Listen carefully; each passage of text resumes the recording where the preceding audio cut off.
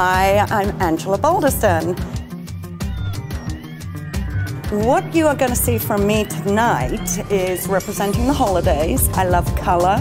I love shiny, sparkly stuff.